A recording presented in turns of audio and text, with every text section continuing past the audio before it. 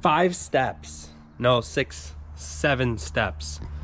It'll take you like 20 steps to do this. It's super easy, okay? Just watch the whole video. Rowan, you ready? Yeah.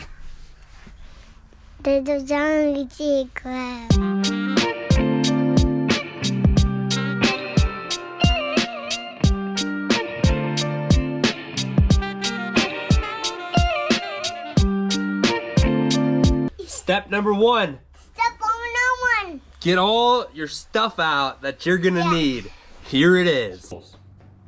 Impact driver, two drill bits, two clamps, a metal cutting blade, wrench with a socket, drill, grinder, and a miter saw. Step number two, get out all the supplies that you're gonna need for this thing, okay? Go to the store and buy them.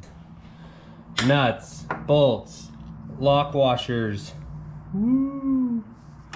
Washers, adhesive, um, some undercoating, black spray paint to make it look pretty, flat bar, plain steel, floor tracks. Step three. Get Now prep your materials, okay? Here's what you do.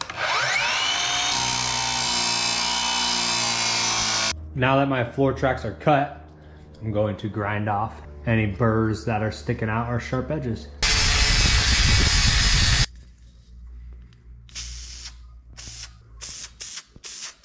Now cut your flat bar steel into four pieces. That's how many pieces I need. Now that we have our four pieces of flat steel cut, we're gonna use our grinder and clean up the edges. If you run into the problem where you have to install a bracket right on top of your fuel tank, then this is how I did an easy fix. Drill a hole in your metal plate,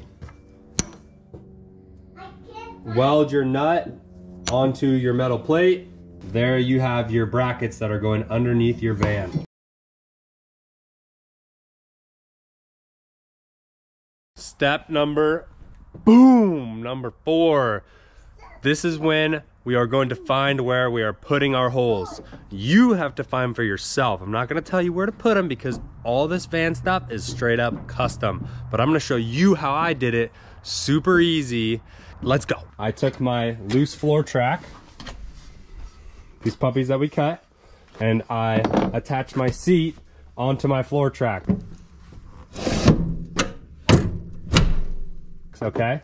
Then I slid my seats to exactly where I wanted the gap to be. Once you find your spot where you want your seats, you go and you mark in your holes, okay, where your bolts are gonna go. Mark one hole, mark your other hole. Of course, make sure it's all even and exactly where you want it. Step number five.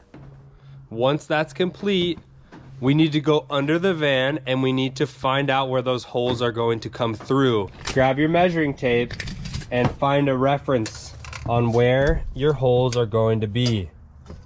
This is really important for when we go under the van and we find out if we're going to hit anything and how much clearance we're going to have.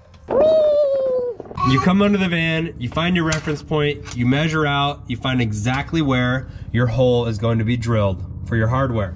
All right, guys, this is where it gets difficult. If you can see it, there, that right there is my hardware, okay? And there's another one back over here, but it is under the fuel tank. You obviously have this tank in the way, you have all this stuff, the drive line, all this stuff in the way, but if you get the nut welded onto um, your steel plate, then all you have to do is simply hold that up there and they start running the bolt right through it. It picks up automatically and holds in place. That one obviously was super easy. This one was super easy.